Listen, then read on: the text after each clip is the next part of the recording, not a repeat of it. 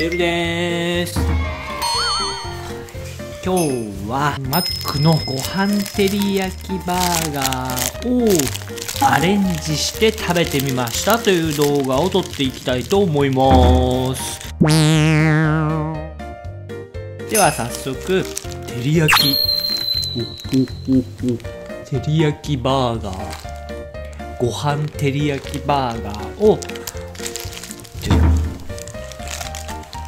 じゃんお椀に移します。ででーん。そこにでーん。生卵を。割って。入れていきたいと思います。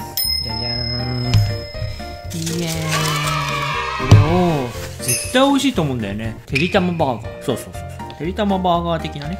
お箸で食べるっていうのもねかなりね面白い感じになると思うんですけどまあちょっと見た目はこんな。うん。でどうでしょう？味は？朝ごはん。朝ごはん。でってけでって。またねただおっさんが朝ごはんを食う動画っていう感じになってるんですけどね。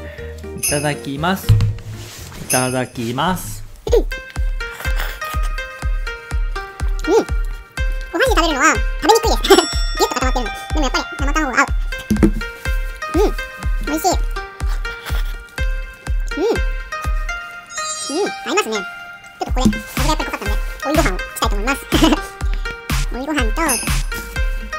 うん。うん。あとはインスタント味噌汁を飲みながら、これは贅沢な朝食だ。うん。うん。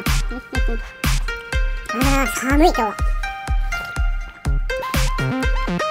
会社の水道が使えない状態。凍っちゃってる。埼玉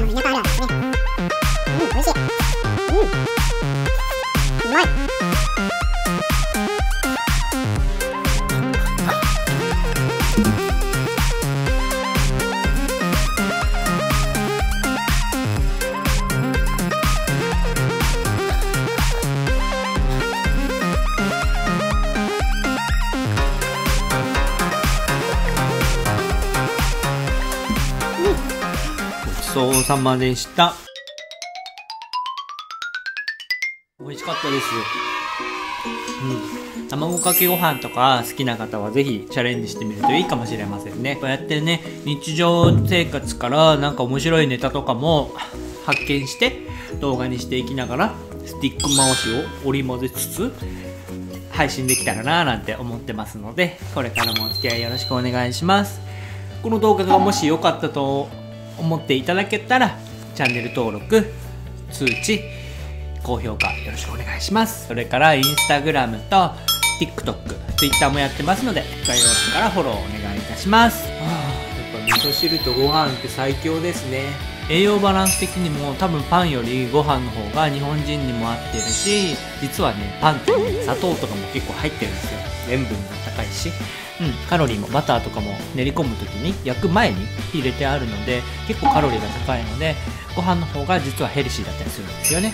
なのでダイエットの方とかカロリーが気になる方とかそういう方はマックのご飯バーガーぜひトライしてみてはいかがでしょうか。あそうそうそうそうそう。17時。5時からの販売なのでお気をつけくださいね。ではそんな感じで今日もご視聴ありがとうございました。またねイラストも見てねバイバーイ。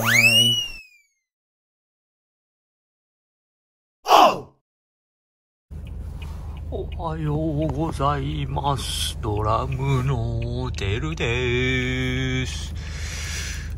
いやー、びっくりなんですけど、炭酸水が凍ってました。